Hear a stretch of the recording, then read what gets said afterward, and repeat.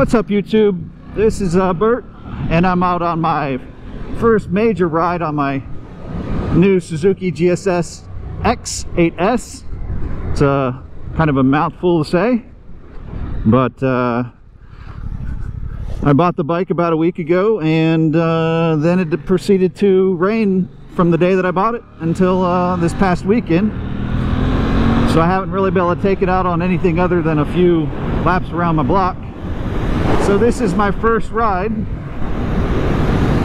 and I'm riding around in traction mode 3 and ride mode C. So it's uh, a little bit more tamed down throughout the power band on this while I get used to the bike. But uh, yeah, this is uh, pretty sick.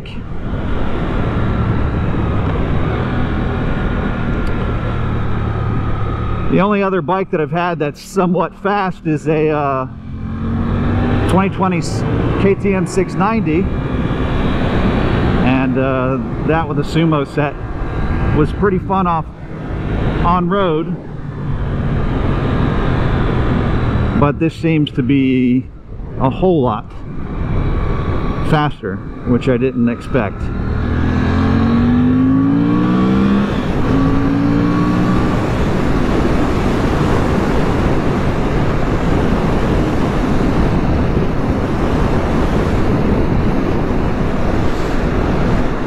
I have to say the bike is really smooth.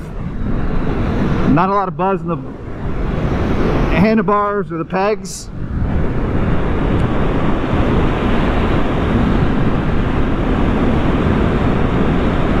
Nice bright TFT display.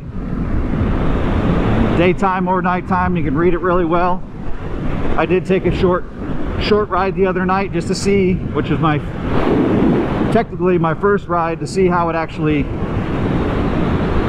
was, you know, at nighttime with the headlight spread and everything like that. And it, it seems to be pretty good.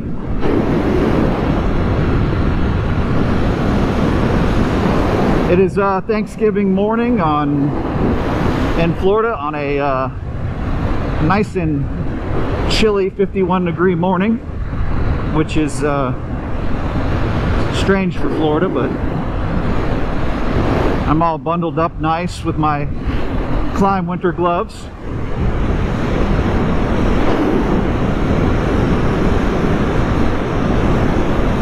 And I'm checking out a, uh, a budget-friendly jacket today. I bought a Bilt Blast 2 to try to keep me warm in the, the colder season instead of uh, my Baja S4 Klim jacket or my Alpinestars Tech Air.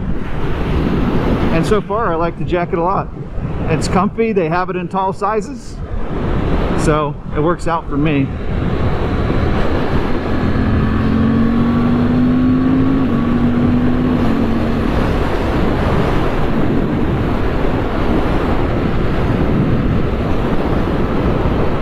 So I'm a little bit over six foot two, almost six foot three with boots on.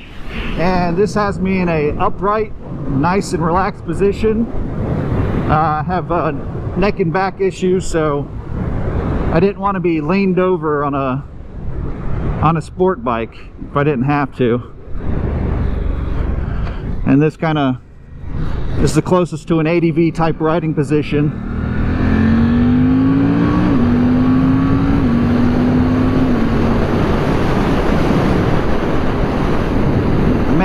Is smooth.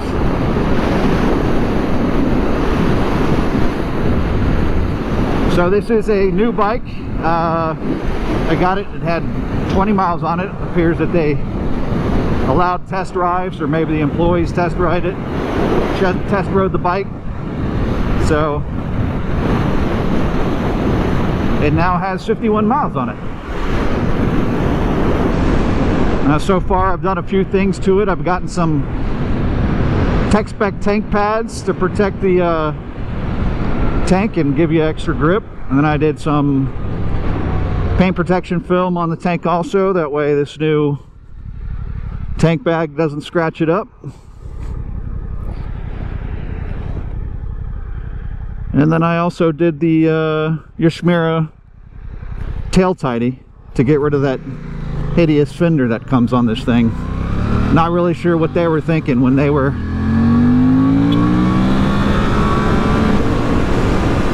designing this bike or what the purpose is of the fender that looks like a third or fourth seat but uh, that is now gone which I'll show here shortly on a walk around of the bike I had the option to get a 24 because the dealership that I had I uh, purchased it from Sky Motorsports in Sanford they had uh, 24s in stock but the uh, 23s were marked down and I really dig the white with the blue accents, blue wheels. So that, I think most people that have I've seen online seem to have this color combination and I'm quite happy with that that style that coloring. So I can't say I do like the uh, quick shifter quite a lot. It uh, is a lot better than the one that I had on the 690.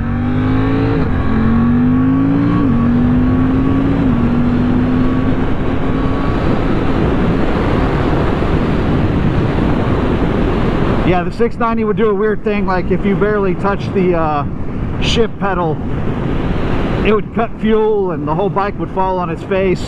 And if you were taking off fast, trying to run the bike hard, you'd barely touch it and it would like kill power and it felt like the bike was gonna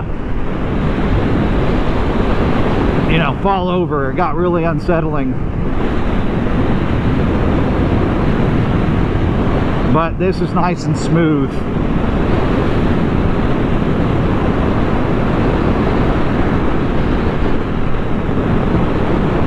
I didn't think I would buy a sportier bike like this but on a recent trip when we were uh, doing a cross Florida event we were running through back roads that had some twisties here and there on our way home and it was like 150 miles and we were just you know cooking along the three of us like hauling butt and it was just so much fun that I'm like ah you know maybe I do something do need something more streetable?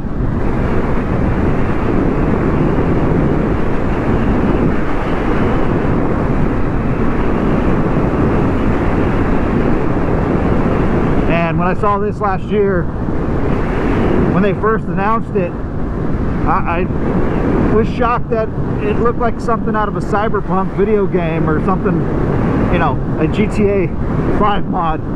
That was a bird that almost uh, decided to hit me in the face. That was strange.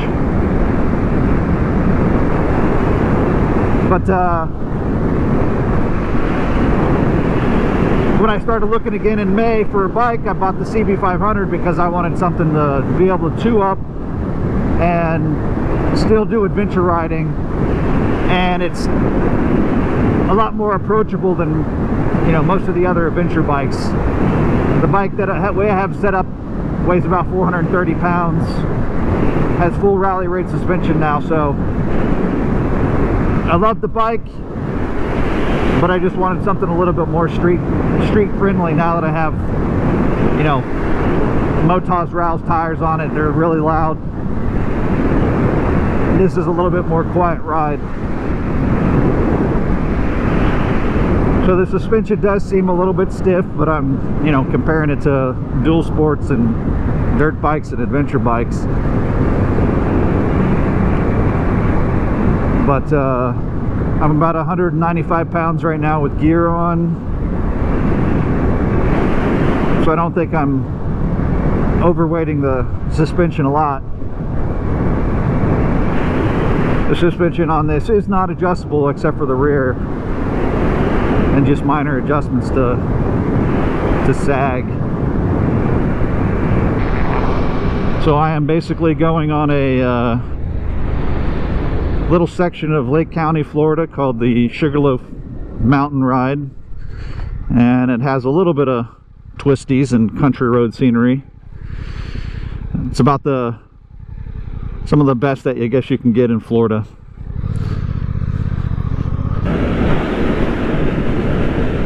So the bike is a, a little bit heavier than a lot of the naked bikes at 445 pounds fully fueled but it doesn't feel like it at all. Like it, it feels so much lighter.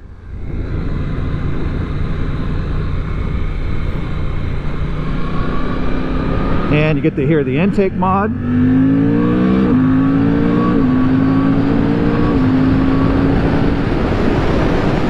Yeah. Oh man, this thing is so much fun.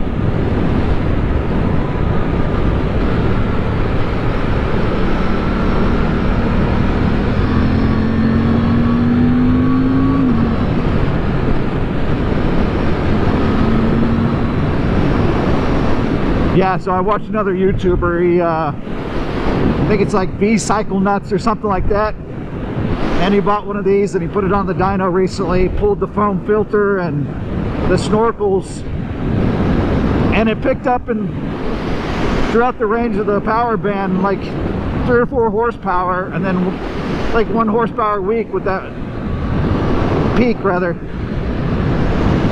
without doing anything on the on the factory tune so like why not? Everybody always does in intake box mods and everything. Never seems to have any issues on the on the bikes with air fuel for basic stuff like that. And it sounds the intake noise is intoxicating.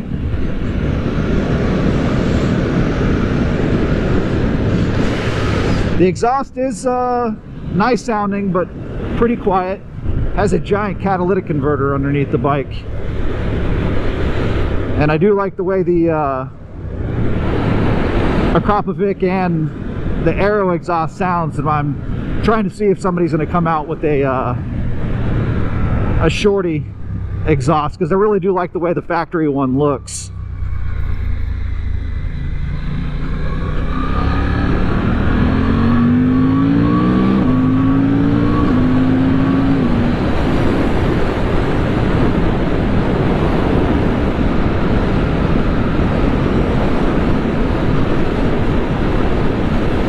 These are Florida hills.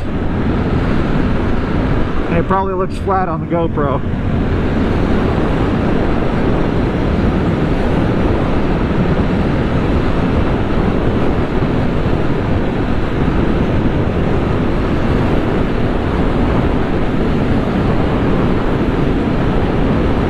That is the uh,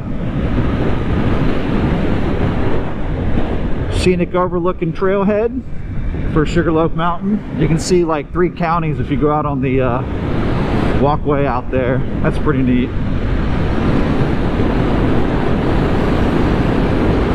We get to see a portion of Lake Apopka.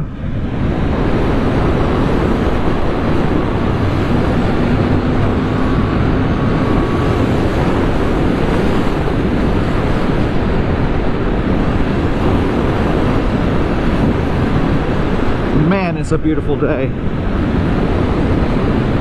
Yeah, these roads out here aren't the actual best, but for the most part, this bike seems to be soaking it up. All the little bumps and cracks and everything.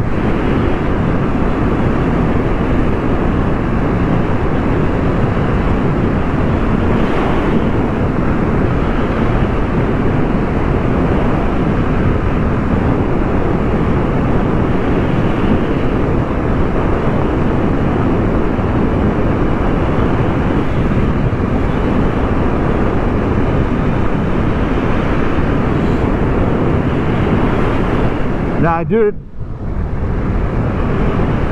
you know, research and look at the 790 and the 890 Dukes from KTM. I do love the way those bikes look and they make a lot more power, but I wanted uh, Japanese reliability. Suzuki's always been a fairly safe bet when it comes to reliability, so and since I did have a 690 that had uh, a lot of little gremlins going on with it. I figured I'll just, you know, take my chances with this bike. I'll probably have a much, much more reliable experience. It might not be as fast or as a more sporty of a bike, but I don't know. This thing looks really good. I love the way the headlights look. A lot of people don't like the stacked squares, but like I said, it reminds me of something like out of a out of Cyberpunk, the video game. Yeah, even uh, low speed, getting on and off the throttle, it's nice and smooth. Doesn't feel snatchy or grabby or anything like that. I heard it's uh, common with ride-by-wire systems on, on bikes, but uh, this one seems pretty smooth.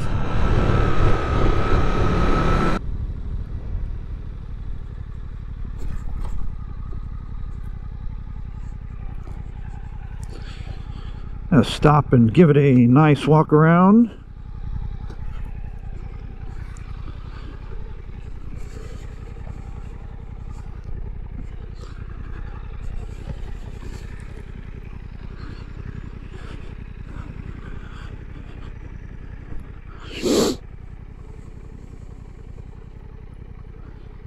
It is a beautiful looking bike.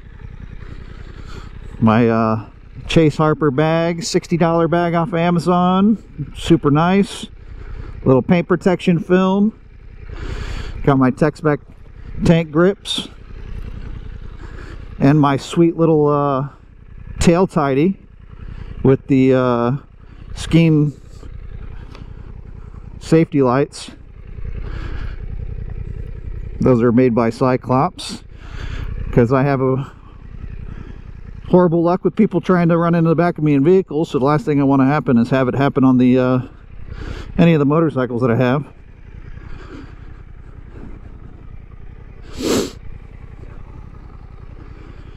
She is a beaut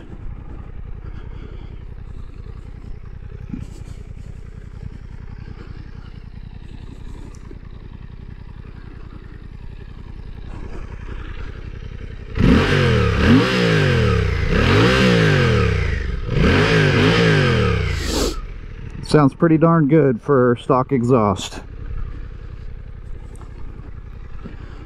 All right.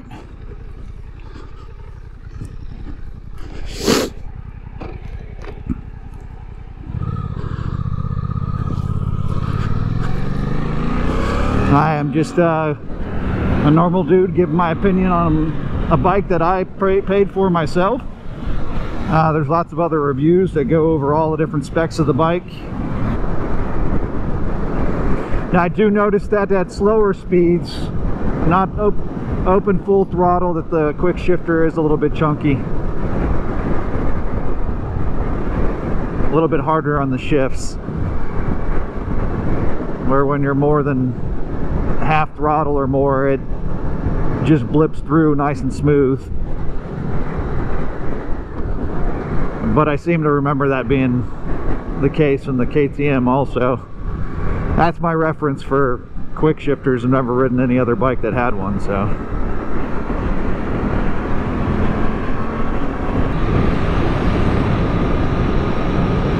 I am definitely happy with my decision. I did not test drive it myself. I went in blind just based off of watching tons of reviews on the bike. I went and checked out the bike. Loved the way it looked in person and then uh, I sold my 2019 CRF250L and then uh, the next day I went and bought this. So this this was a replacement bike for the 250 for now because I only really need two bikes for now everybody else that says I only need one bike and then they end up with two Then they say, oh, I only need two bikes, and then they end up with three. It's like a illness.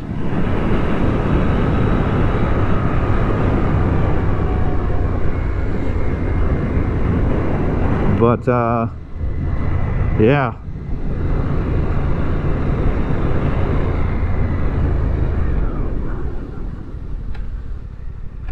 It is uh, much better than any other illness, that's for sure. It's cheaper than my old car illness. You end up with, you know, twenty or thirty thousand dollars in a fifty thousand dollar car. I can buy and build out multiple bikes and still be way cheaper than that would ever be.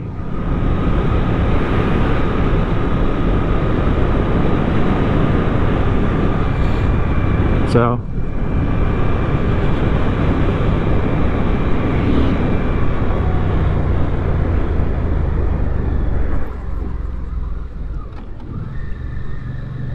lots of police activity today. So the seat's fairly comfortable. Uh, doesn't feel like a piece of cardboard like a lot of the dual sports and dirt bikes. Uh, so far, no no numbness or anything. It may just be as comfortable of a stock seat that I've ever sat on. It feels just as comfortable as my uh, seat concepts on my CB500X. So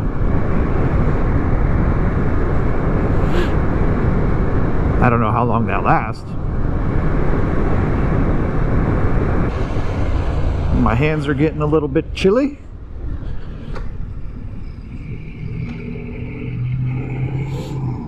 No wind protection on my hands. I guess it'll do that.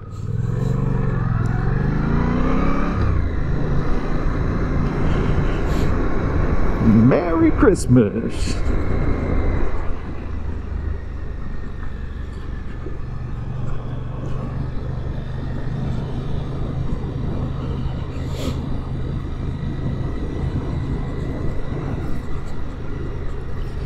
All right, cobblestone road.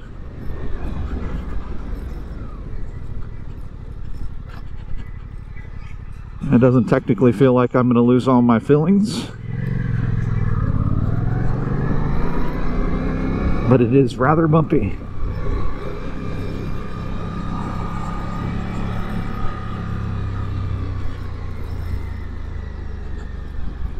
Yeah, definitely can feel this in your handlebars.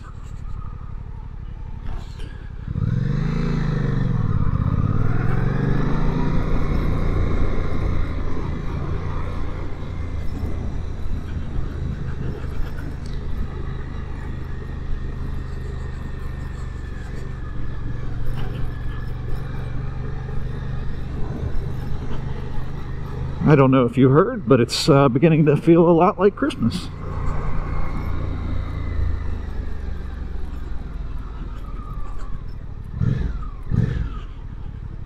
Beautiful Winter Garden, Florida, downtown.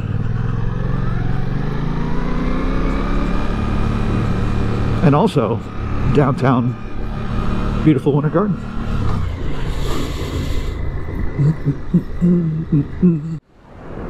I got a new battery in. Left on my ride earlier and uh,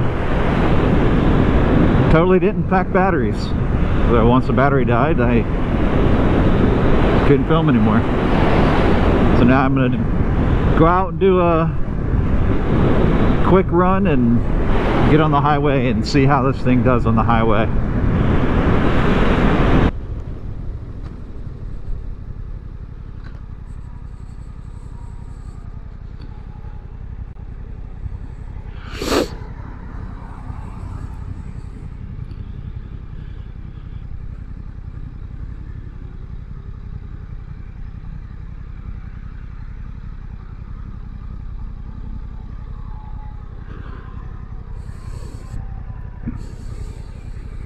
And off we go.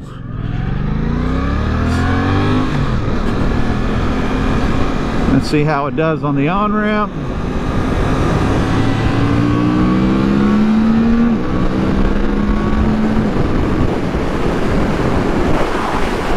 Gotta break it in first before I get to ride it hard.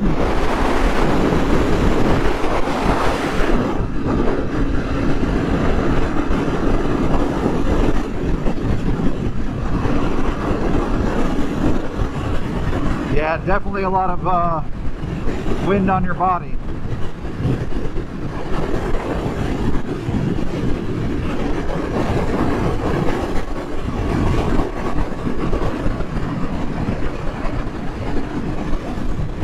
Nice and smooth ride. It Doesn't feel like the bike wants to move around a lot. I love it. It's nice.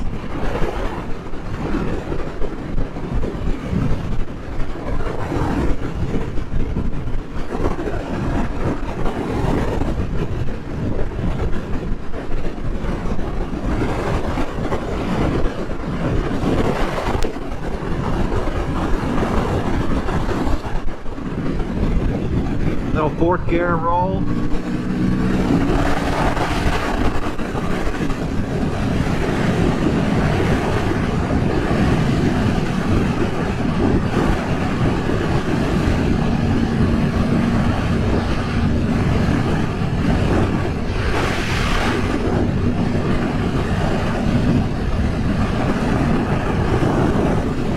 Yeah, it's really hard not to go. Want to go really, really fast on this bike. It just feels so easy to break all the laws and speed limits.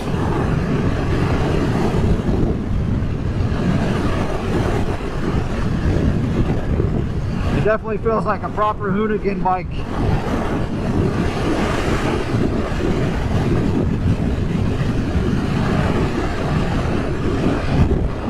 That would be nice to have cruise control on this.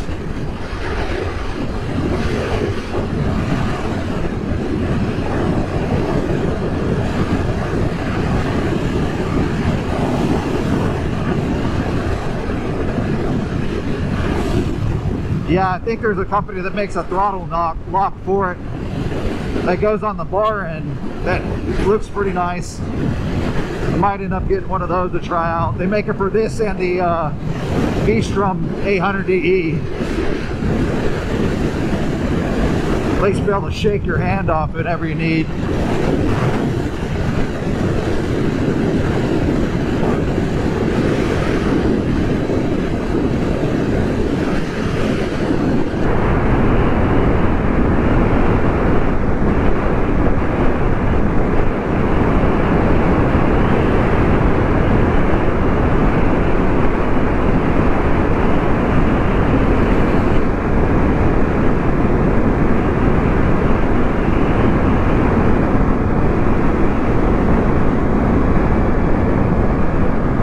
Nice and smooth.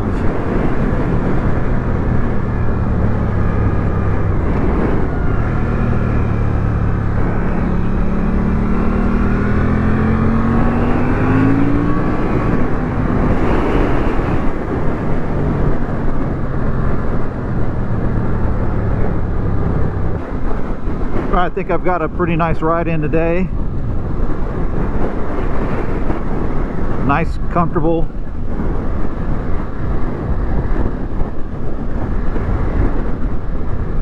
Looks like I'm going to need fuel soon. She does like to eat fuel. She's a thirsty gal.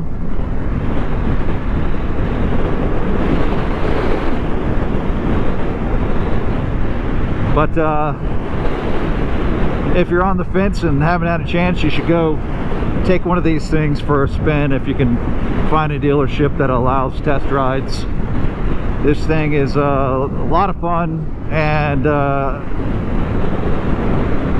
pretty much fits all all size size people with the approachable seat height. And then without any modifications lowered pegs or anything like that I actually fit pretty well on it at my height. So uh, thanks for watching. Like and subscribe. And uh, hopefully I'll have some more content on this bike in the future. Peace.